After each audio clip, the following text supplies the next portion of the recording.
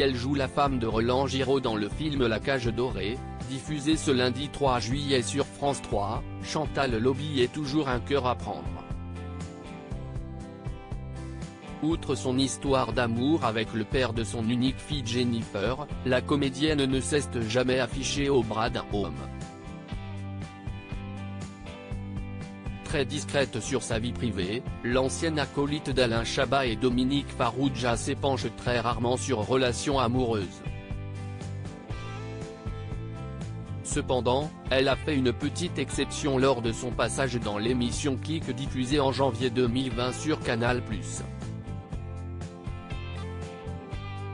Lorsque Mouloud Achour lui a demandé comment elle faisait pour avoir une vie sentimentale tout en étant célèbre, l'actrice de 75 ans lui a répondu sans détour que cela était compliqué. Comblée par sa vie de famille et son rôle de mère auprès de la chanteuse du groupe Superbus, elle a avoué qu'elle n'avait pas connu le grand frisson de l'amour depuis de nombreuses années. Maintenant, ma vie sentimentale, la pauvre. Cela fait pas mal d'années que je n'aille pas de belles histoires, non.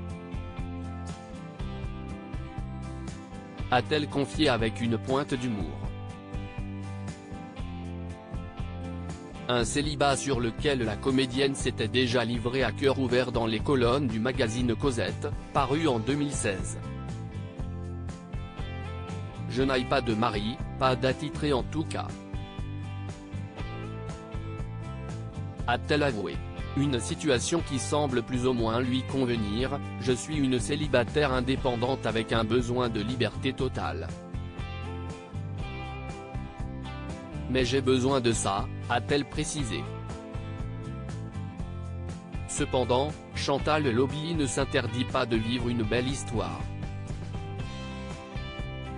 Point, j'adore tomber amoureuse, a-t-elle conclu. Cupidon sait ce qui lui reste à faire? Chantal Lobby, ce regret concernant sa vie sentimentale n'ayant toujours pas trouvé l'homme qui ferait battre son cœur, Chantal Lobby a tenté d'y trouver une explication. Au micro de Anne Roumanoff dans l'émission Ça fait du bien, diffusée le 19 mars 2021 sur les ondes d'Europe 1, la complice de Christian Clavier a estimé qu'elle n'avait pas eu de patience avec les hommes par le passé. Il y avait mon travail, je jouais, j'écrivais. J'étais dans le truc et donc de temps en temps je n'étais pas très patiente. A-t-elle déclaré à l'humoriste. En privilégiant sa carrière à sa vie amoureuse, Chantal Lobby ne peut s'empêcher d'avoir quelques regrets. Je me dis que si est dommage, que j'aimerais bien être avec quelqu'un que j'aime tout de suite. Mais quelqu'un avec qui ça serait bien de partager de belles choses.